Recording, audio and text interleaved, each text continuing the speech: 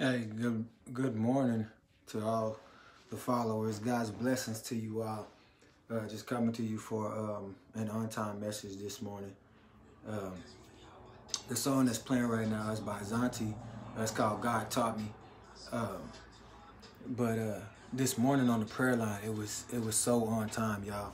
Uh, you know, shout out to my brother Eddie, to uh, my sisters uh, in Christ, uh, Tasha, Brand, Melody, uh, Melissa, um, to my mothers in Christ, my spiritual mothers, uh, Mother Carol, uh, Lady Cat, uh, Verda, uh, even uh, my other sisters in Christ, Tootie, Ida, Brittany. Whew, man, it's a lot of it's a lot of sisters. Michelle. Thank y'all for, for joining in on on the prayer line and praying with uh, me. You know, y'all didn't have to get in on there, but I know it's nothing but God, the reason that y'all are on there. So I definitely want to give a shout out to y'all because y'all are sharpening me uh, as I'm uh, sharpening y'all. You know, iron sharpens iron, steel sharpens steel. But uh, I had to definitely come on this video today. You know, shout out to YouTube, Instagram, Twitter, uh, Snapchat, all of y'all, whatever it is. You know, if you like the content of the video, please uh, share this with someone else because we need to uh, teach each other this. Uh, first of all, I just want to say giving all gl glory and honor and praise to God because without him, none of this would be possible. Without him waking me up this morning, you know, I wouldn't be able to give y'all this message. So definitely want to give all praise and honor and glory to him first. Man, I want to tell y'all something. You want to die to this world. You want to die to this world in your in, in your spiritual realm. You want to die to it because the ways of this world that's teaching us, it's it's not good for us. You know, and if we keep on walking in this in this uh, in the ways of the world, destruction is going to happen. But we must bring heaven to earth. How do we do that? We do that by diving into the Word, by listening to our Father, listening to our mothers. Not, and I'm not just talking about the fleshly mothers and fathers, because we're supposed to listen to them, and we're supposed to learn from them. But we have to learn the Word, the Word of God, and what God tells us to do. We have to go in that path. We have to model ourselves like Christ. We have to love like Him. We have to honor like Him. We have to teach like him and we have to preach like him. Because when Christ came, Christ didn't come to change any of the laws. He fulfilled them because we couldn't do it. Christ is God in the flesh. And that's why it had to be fulfilled. But there was another covenant that was established before Christ left this earth, which was love to love our mothers, our fathers, to love our brothers, our sisters, to love our family, to love our neighbors, to love one another, to even love your enemies. Did you know that? To even love your enemies. Those who pray against you, who pray on your downfall, we still supposed to love them too. So I'm telling y'all, man, we have to learn to start praying for those that have wronged us and to love them anyway. Even when they come back and they ask for forgiveness, we must forgive. Not for, for them, but for ourselves. Because I ain't trying to go to hell. I ain't trying to go to hell. And y'all ain't either. Don't nobody want to burn. Don't you know what fire feels like? I know what that mug feel like. I done, you know, been burned quite a few times. Physically and spiritually.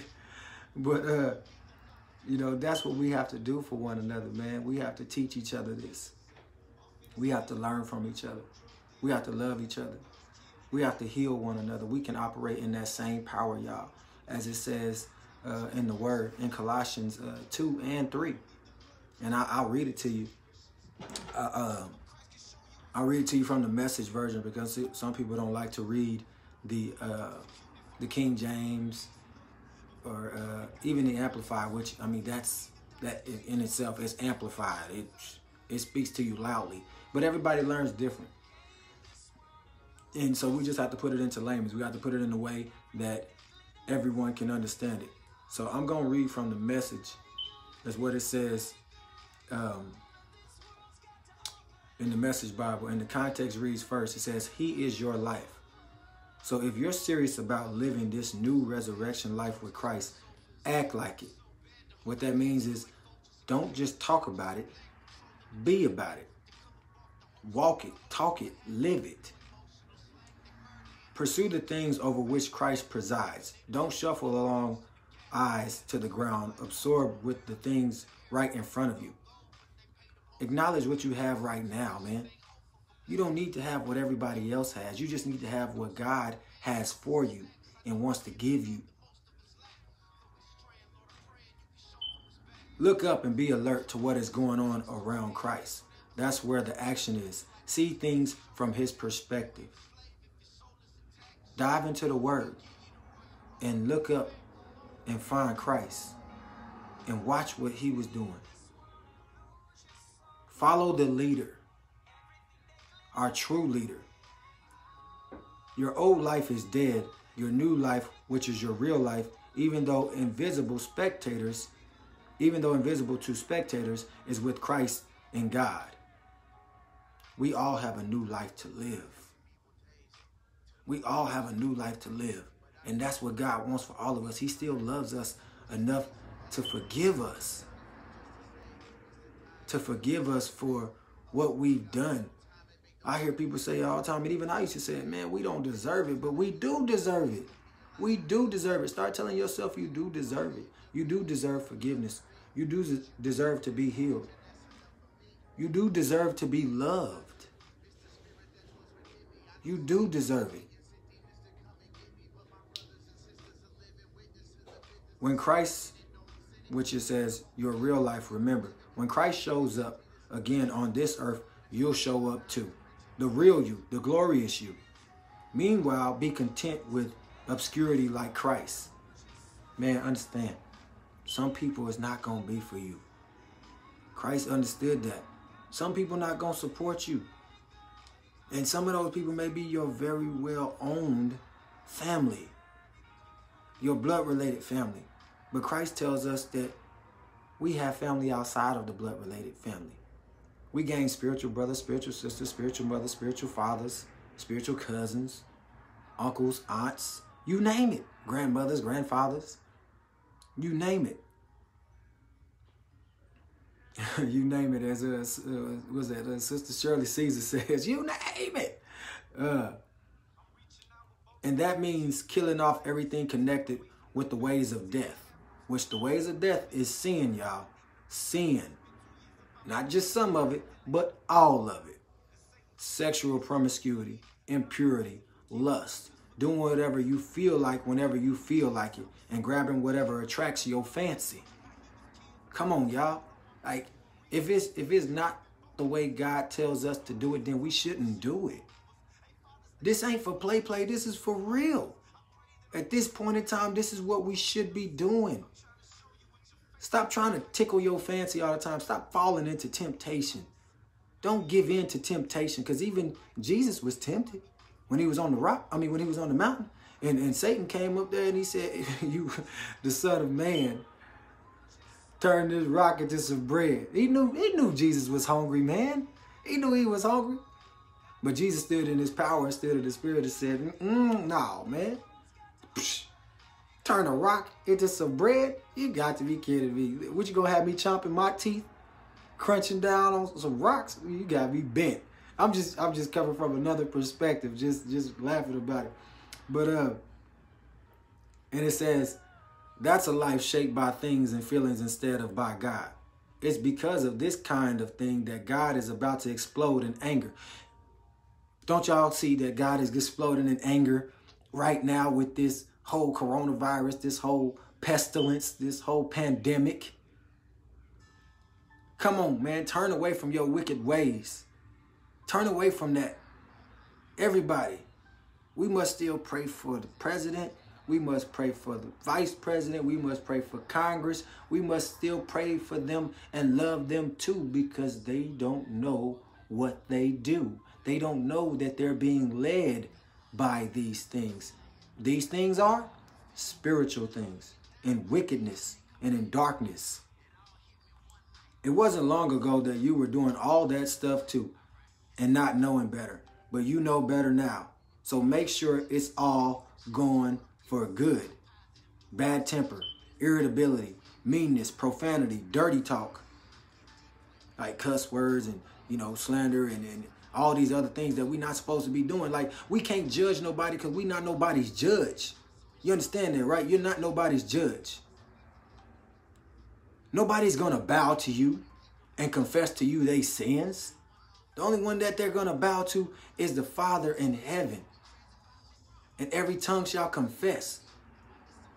The people that died, they sleep right now. Ain't nobody went to heaven. Ain't nobody went to hell. So please, preachers, stop preaching that. Stop telling them them lies. That's why religion has to die. Because it's man-made. Stop preaching lies, man. Teach the truth. Teach the real word. I'm not getting on anybody. I'm just saying we must do this. Because some of us, we've all fell into this. Everybody, we've all fell into this stuff. The ways of the world. And we have to die to that. How do you die to that? You ask for forgiveness. You repent of your sins. And you turn away from your wicked ways. You turn away from the world and operate as Christ operated and walked in and lived in. Come on, y'all. Spread the message. Let me get back there. Uh, don't lie to one another. You're done with that old life. It's like a filthy set of ill-fitting clothes you stripped off and put in the fire.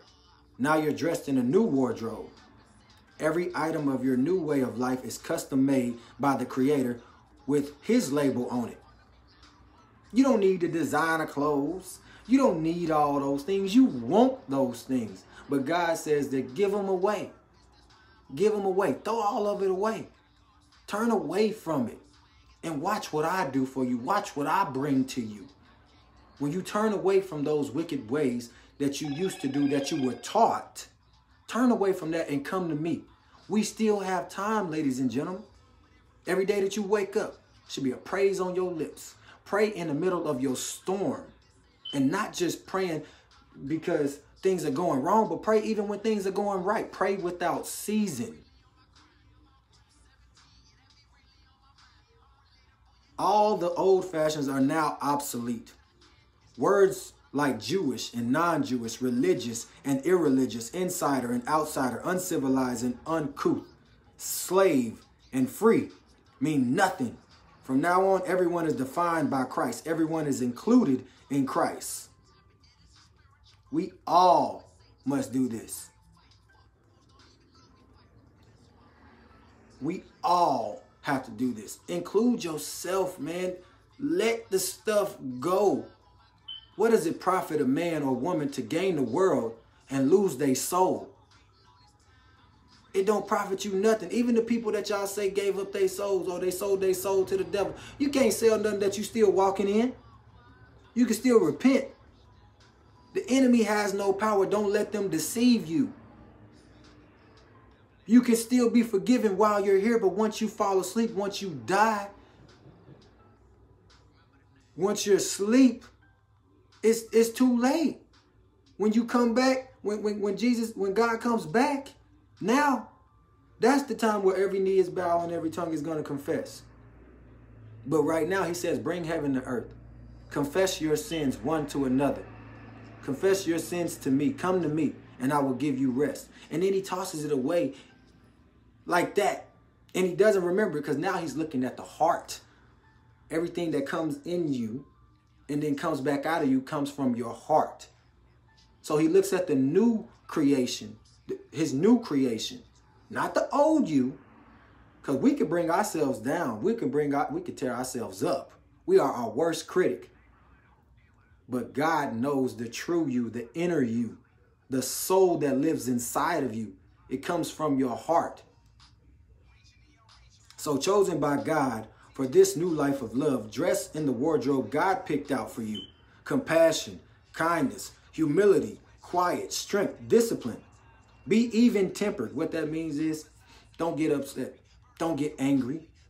Be angry, but sin not. No more cussing, no more slandering. You can't tell someone to stop cussing and stop gossiping and everything if you still doing it. He without sin cast the first stone. And all of us are in sin, so we can't throw no stones. We can't judge nobody.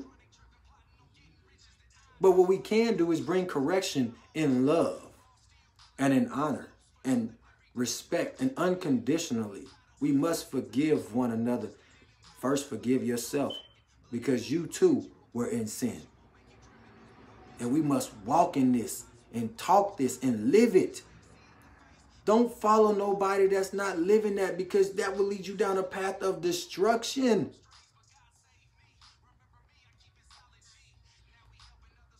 Forgive as quickly and completely as the master forgave you. Forgive as God forgives us. Man, my hair is growing like crazy. It's all in my mouth. uh, forgive as quickly and completely as the master forgave you. And regardless of what else you put on, wear love. It's your basic all-purpose garment. Never be without it. The armor of God. That is what it's talking about. The armor of God. Walk in that. Live that. Speak that. Sleep that. When you fall asleep, fall asleep to the word. Don't fall asleep to the, the secular music and things like that because then you, it'll come to you in your dreams. The enemy will tempt you any way he can. Anyway. He will try to get in. But you walk in that power, you walk in that spirit, you can defend yourself again. When you speak the word of God, your swords, your guns, all of those things, the enemy got to go. Resist the devil and he will flee. Because the enemy has no power. You know why? And it tells you in the word. The enemy has to go to God to ask for permission to tempt you. To tempt you. He has to ask for permission. We have to ask for permission too when we go somewhere. We have to ask permission from God. We have to do that. We have to do just the same. No. Oh, yes. Those are my old ones. Yes. Uh, let the peace of Christ keep you in tune with each other, in step with each other. Iron sharpens iron, steel sharpens steel. Be in tune with one another, like on, uh, what is that movie? Drumline. One band, one sound. Operate in that, you know, in the love of Christ.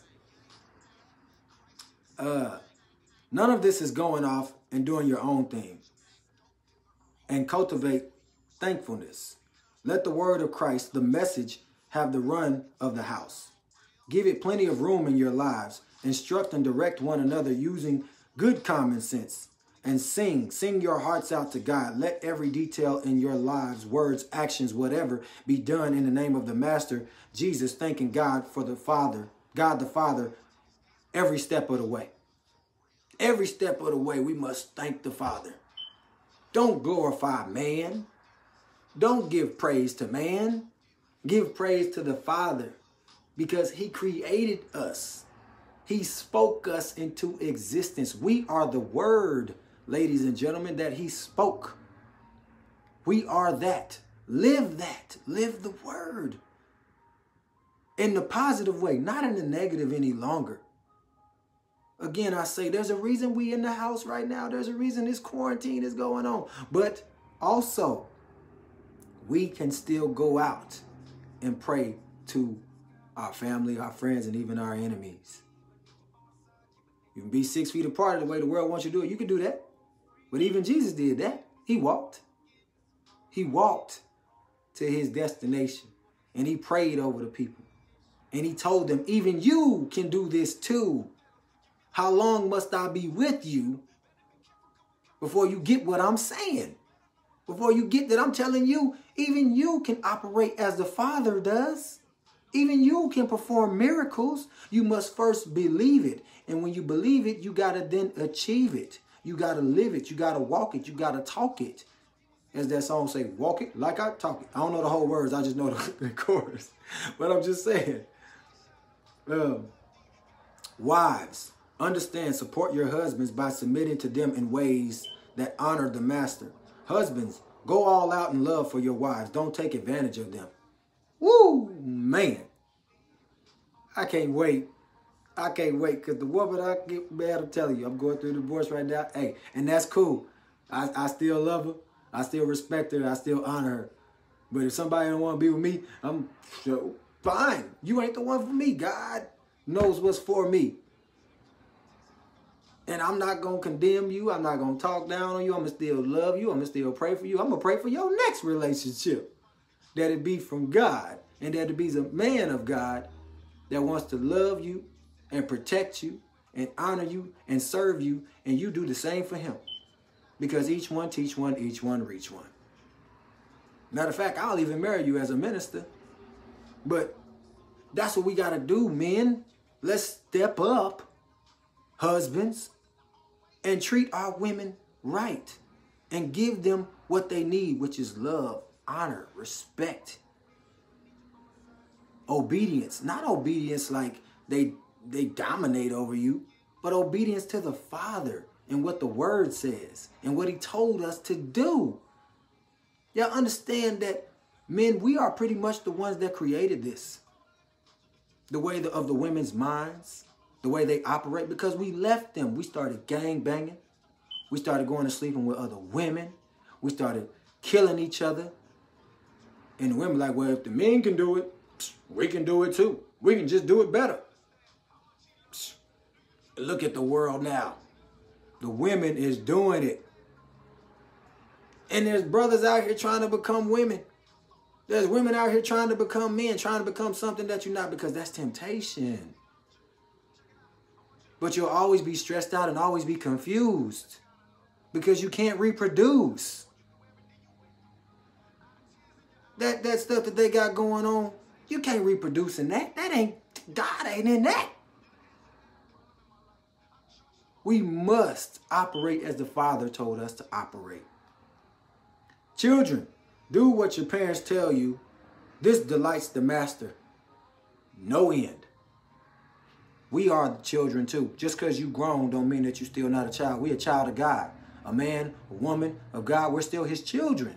So we must listen to our Father who art in heaven. Hallowed be thy name. Thy kingdom come.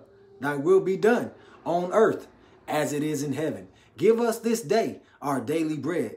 And forgive us of our debts as we forgive our debtors. And lead us not into temptation, but deliver us from the evil one. For you are the kingdom, you are the power, and you are the glory forever and ever. Amen.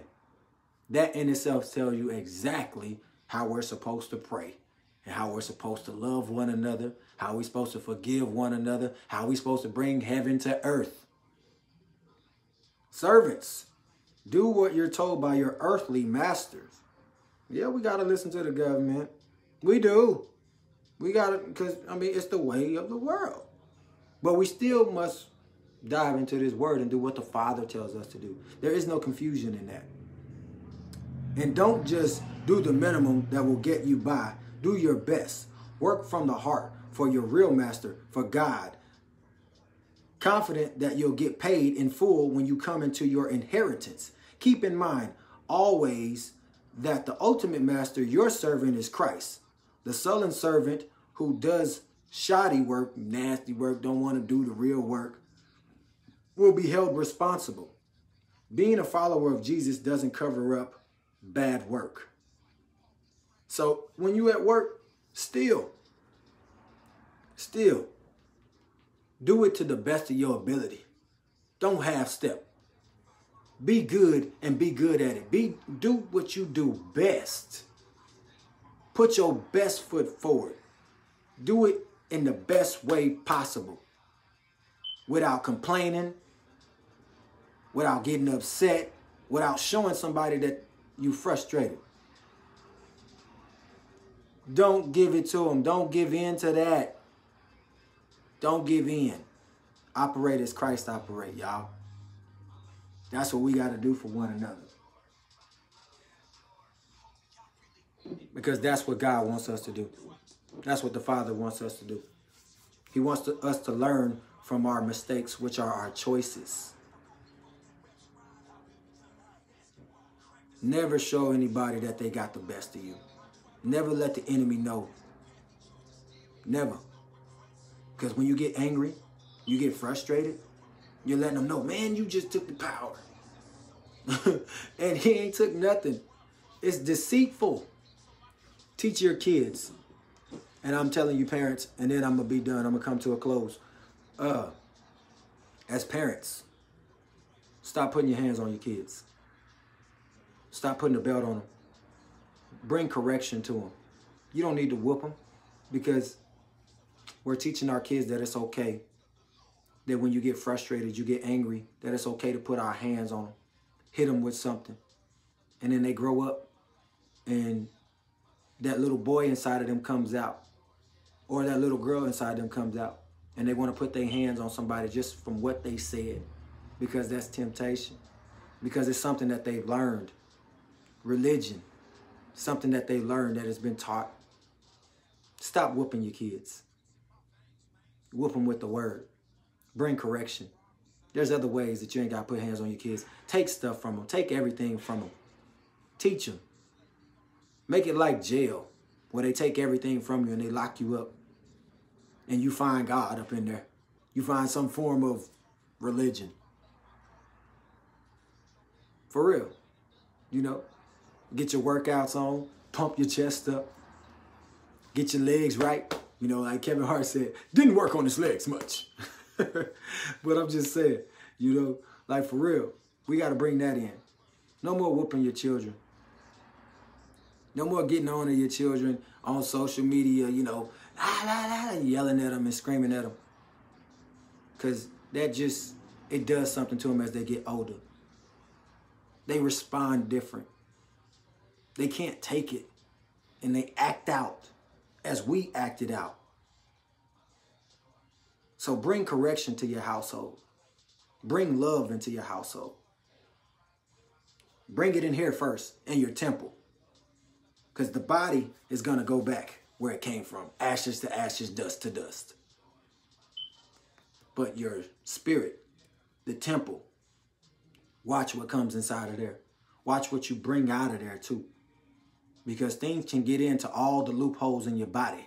Not just your eyes and your ears and your mouth. I mean, get in through your nose. It can get in through your pores, all the holes in your body. Just like things can get in dirt, you know, when it rains, it goes inside the dirt. It ain't that, it's not a definite foundation. Because if something can get through it, it can get through to you too. Because we're created from dirt.